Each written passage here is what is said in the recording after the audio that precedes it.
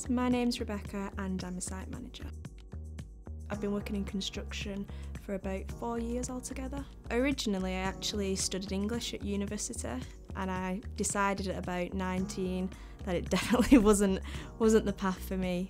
I've got family who work in construction and it started off with just doing a little bit of work experience and I quickly fell in love with the role.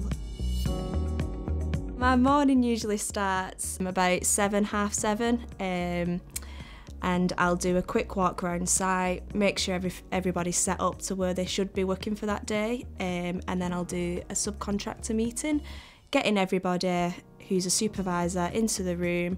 What you doing today? Have you thought about this? What about this? What about this?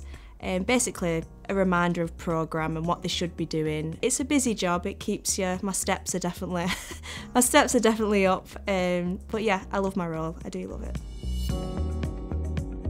I think it definitely is still predominantly male focused. Um, I think the role itself does get a bit of a bad reputation. Um, people don't always think the role is what it actually is. They have this assumption that it'll be something completely different to what it is. Um, so my managerial role is very, very similar to any other sectors. It just happens that there's a bit more mud involved in my role.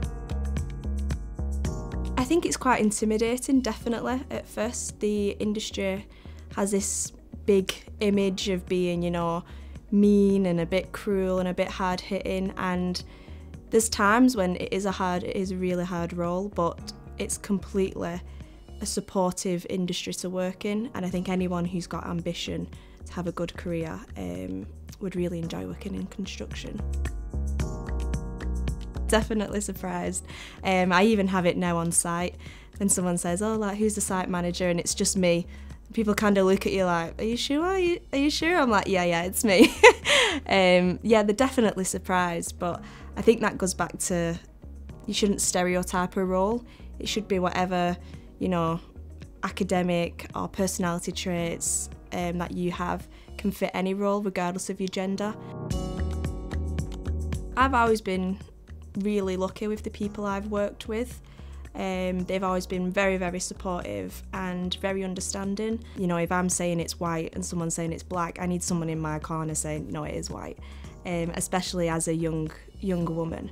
Um, and I've always had that. I'm not a aggressive, shouty person and I didn't want to have to be that to do my role. I didn't want to have to come across male in a sense to get respect and to be able to do my job well. So it does take a lot of confidence and, you know, it, it does take a while to build up your own um, managerial style. I think for me, it would be breaking the stereotype roles. Um, I know for a lot of women, it's a horrible kind of pressure being put on us to pick a family or a career, and I don't think that that should be the case. I think, you know, if you're the right person for the role, you've got the right skills. Um, the role should be flexible to be able to, to everyone to have both. Um, and I think in terms of, you know, younger younger people and education, it's just getting the access, the reach into schools earlier on. And I think if you're if you're academic, you don't really think of construction. Um, you know, you think, oh, I'm going to be a teacher or a doctor, or, but it's actually such a fulfilling interesting role. Um, if you are academic or if you're not academic, you, you can still reach reach a really good um, position. I'd say that uh, give it a go. Don't be intimidated by people. Um, you don't have to be a certain way or be a stereotypically male personality or anything. You know, I have my nails done, I have my hair down. You know, I am who I am and I don't change my personality because it's a stereotypically male role.